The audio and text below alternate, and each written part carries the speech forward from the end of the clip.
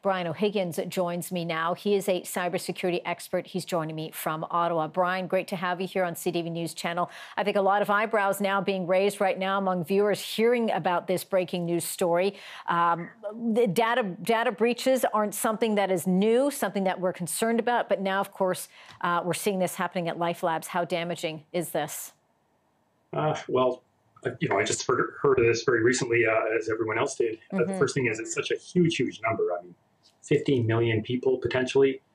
And they're saying it's mostly uh, residents in British Columbia and Ontario, but it must be like the entire population. Yeah. so, but it's a very big number. But I think it's one on the surface. This might actually sound worse than it is. It's it's you know the case of ransomware, and usually it's the criminals after money to you know pay ransom, and that seems to have worked. He was right. paid off, and the motivation to actually public make those numbers or that information published uh, or public uh, it may not be there. So people may have dodged a bullet that way, but mm-hmm. Uh, you can never tell for sure.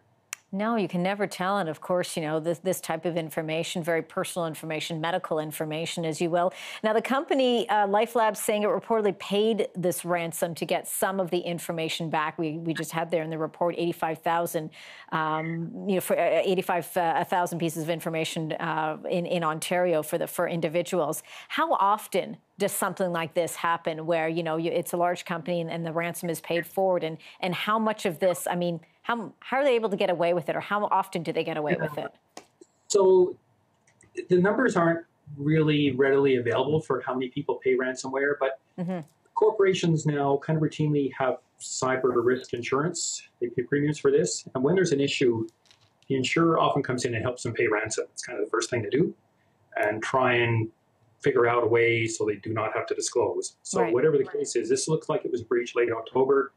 They went to the um, all the officials and the privacy commissioners, and they probably had a long. I'm guessing here, but they probably had a long discussion, mm-hmm. and they were uh, eventually required to disclose that your information may have been breached. So mm-hmm. obviously, the hacker had it, but what did you do with it? It's you know not made public yet. Wow, what's the risk level? Would you say? I mean, in this case, as we mentioned, these are health, uh, medical records, health card numbers, et cetera. Well, the potential risk. I mean, it's all for identity theft. Uh, mm-hmm and in BC, the uh, it's a health, it's not, it's a services card. It's used very broadly for ID if you don't have a driver's license, for example, and for, for to access government services. Uh, but I mean, any identity information could lead to someone stealing your identity, and that could lead to a world of hurt. Yep. Uh, when they take out loans or whatever uh, that you're liable for. So, I, and now LifeLabs has had some time to prepare here. Their website is up and running, all their full blown response mode, saying, you know, we have we're staffing the call center. Mm-hmm. They're saying if you're people are concerned, they could give you a year of um, of identity theft insurance, which mm-hmm. I mean, even that it's not going to do much for people. In reality, it's it's that will pay direct costs. but uh, um, but I, I you know I would have to think it's actually lower probability that information will be released to the public in this case. LifeLabs. Right. So we've got LifeLabs now, Capital One, Desjardins. This all happening in less than a year. You would think large companies like this would would have the security, but uh, yet, I, we, I all, mean, we all wish. Yeah. Yeah. Yeah. So what can be done now, here? Yeah. Now they say they've hired uh, great cyber experts and they've shored up the systems and they're perfect now. But I, hmm. you know, if they paid more attention beforehand, it would be a lot better.